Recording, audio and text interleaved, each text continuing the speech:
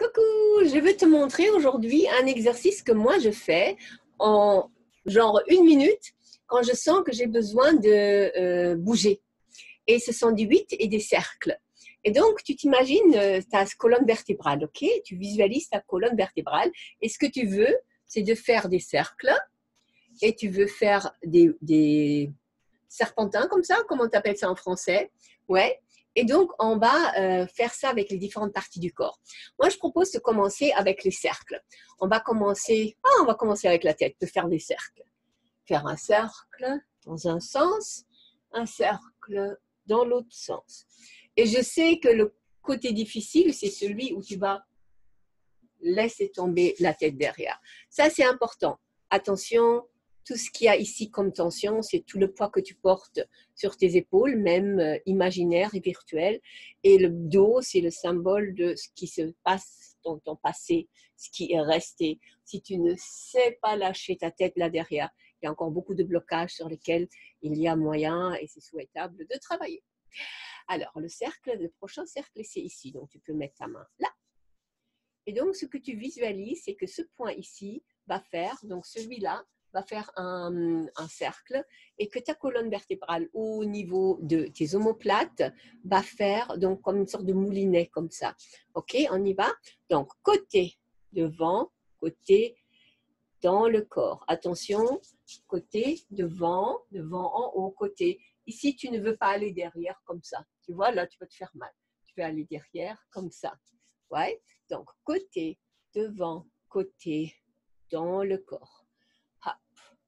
Essaye. Tourner et tu tournes dans l'autre sens. Et tu visualises. Donc, si tu n'arrives pas euh, à avoir les deux côtés ici, ça va venir avec l'exercice. Tu visualises ta colonne vertébrale à faire comme ça un moulinet. Prochaine chose, c'est la hanche. Faire un cercle de hanche et dans l'autre sens. Pour ça, tu as besoin évidemment de plier les genoux. OK, donc on a un cercle, l'autre sens cercle, l'autre sens, cercle, l'autre sens. Ok, maintenant on va faire des 8. Ouais, parce que ton corps maintenant, il a été, ta colonne vertébrale, elle a été un peu moulinée comme ça. Maintenant du 8. Essaye de suivre. Tu t'imagines que ton, ta colonne va faire un 8, tout simplement.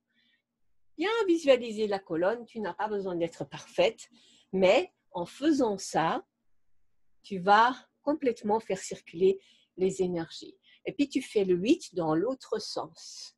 Tu vas aller comme ça. Hop, hop, hop, hop, hop. Laisse jusqu'à la tête pour sentir que toute ta colonne fait ça. Ouais? Donc, cercle, cercle, cercle. 8 dans un sens, et 8 en descendant. Et le prochain mouvement, c'est les ondulations. Ondulation comme ça. Oups, voilà. Hop, hop, hop, hop. Tu peux inspirer, expirer, dérouler. Inspirer, expirer.